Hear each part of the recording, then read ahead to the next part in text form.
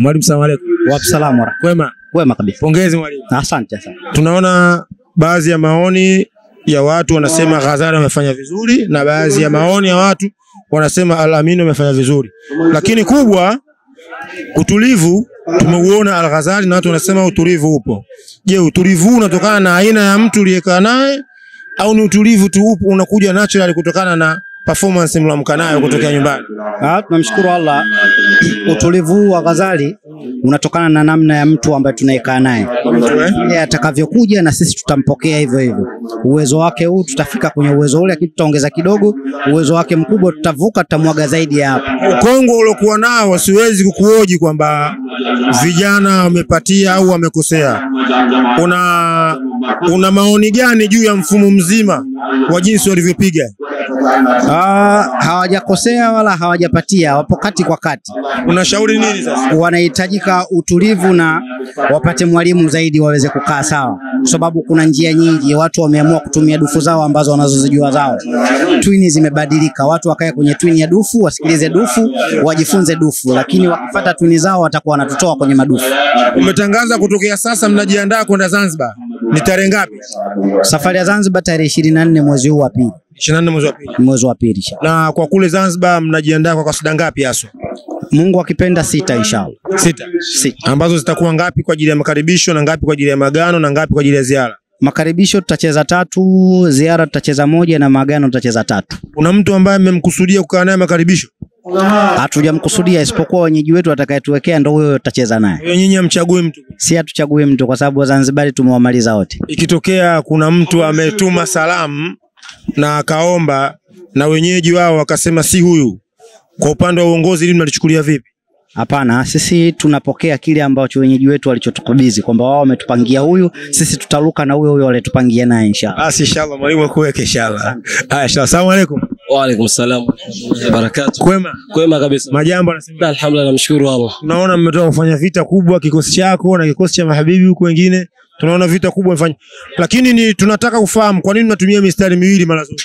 E, tunatumia mistari miwili kwa sababu ya kuwagea mashabiki wetu na mafansi wa dufu utofauti na ladha, kwa sababu ukiangalia hii tamayuri ambayo ipo huku kulia inaitwa Madinari na hilo kwa huku inaitwa Jabaoka, na ukiziangalia katika stepu zao ni watu ambao wenye tungo tofauti. Hii yote inatokana na mfumo wa timu unavyotaka.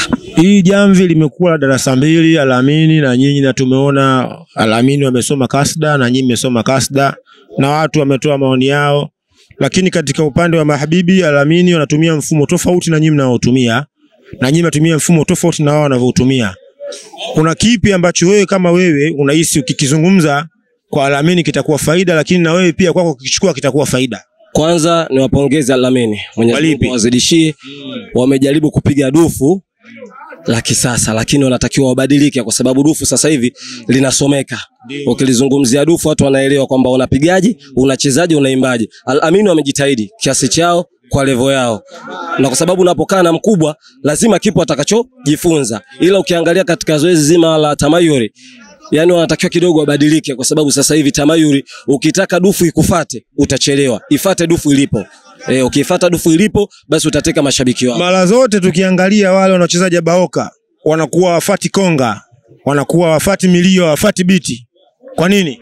E, hii ndo tunasema tofauti. E, unapotengeneza staili ambazo zinakuwa ni tata, kwa sababu mtu akija kuuliza wale wanaingiaje katika twini, wanaipataje twini, ule ni ubunifu ambao upo madrasani, na kwa anayehitaji basi afike madrasani, ataona ni jinsi gani, kwa sababu si kwamba wanatengeneza tu, ili mradi pia na bendi pia mwenyewe ambaye anatengeneza PC pamoja na kaswida huwa anaboresha kile kitu, na ndio maana unaona tunautengeneza utofauti pale, ndio utofauti unapopatikana. Unajiuliza hawa wanaenda enda vipi, lakini ule ni ubunifu ambao upo madrasa tu Ghazali peke yake. Katika upande wa mstari wenu Almadina, ni nani ambaye anasuka zile kazi? Ah, huko kwetu sisi tumebeba ile El Ghazal Islamic Center, chuo cha mafunzo na taaluma.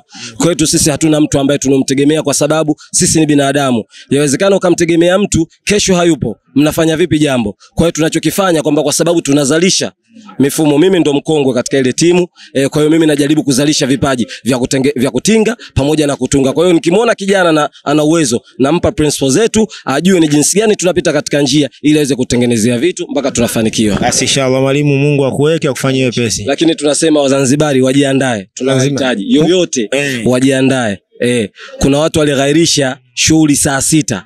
Sisi hatusemi nini tunataka, lakini wajiandae. Sasa mwalimu anasema yoyote mtakayechaguliwa mtakaa naye, na Zanzibari tunaona utaratibu jinsi unavyokwenda kwamba kuna baadhi ya watu huwa wanaomba lakini hawapati nafasi, na wanapokosa nafasi huwa wanasononeka sana. Ikitokea nyinyi mmepata nafasi ya Wazanzibari ambao mmechaguliwa, mkuwapenda, je, mnaweza mkapokea maoni ya wale ambao wameomba? Kwanza tunaheshimu ndugu zetu Khalid bin Walid kutoka pale Jang'ombe kwa sababu wao wameiandaa shughuli na wametuandaa sisi kama wageni wao, hivyo tutafata taratibu zao zile ambazo wamezikusudia, lakini pia tunapenda tuwaambie ndugu zetu wajaribu kusikiliza wenyeji wao ama wasikilize ndugu zao, bimaana Wazanzibari wenzao nini wanataka kwa ajili ya darasa lao, kwa sababu anayekupenda anakufuata. Kama mtu akupenda aweze akakufuata shekhe. Amina, inshallah. Inshallah, nilikuwa naye Sheikh Sultani hapa, afisa habari wa Ghazali, lakini pia ni habibi na ni mwalimu pia kama anavyosema. Kwa hivi sasa tunafikia mwisho. Hadha, assalamu alaikum wala afwa minkum inshallah.